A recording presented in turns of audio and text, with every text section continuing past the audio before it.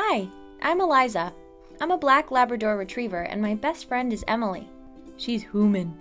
Today we're at our favorite bookstore, turning the page. Emily and I met at the Exceptional Sidekick. Ever since that day, we have been each other's best friend. our friend Pia is a puppy raiser there, and she owns all these books. Oh, one second. It's time to work. Can you keep a secret? Emily has an invisible disability, so I keep my eye on her at all times, ready to jump into action to help her. Thanks to my special training at the Exceptional Sidekick, I know just what to do. Like, sometimes I hear or feel her heart racing, so I just start licking her hand or lay on her lap. This makes her wipe away her tears and smile at me. My hero. I don't know why Emily is scared to go to places like the grocery store or school, but she has a really hard time.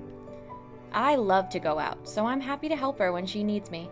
I'm just the luckiest dog. I had the bestest puppy raisers and trainers that taught me everything I needed. Now I get to support Emily every day so she can finish her education and live the life she wants to live. Emily and I are attached at the hip. You know why? Because we are each other's exceptional sidekick. Donate today.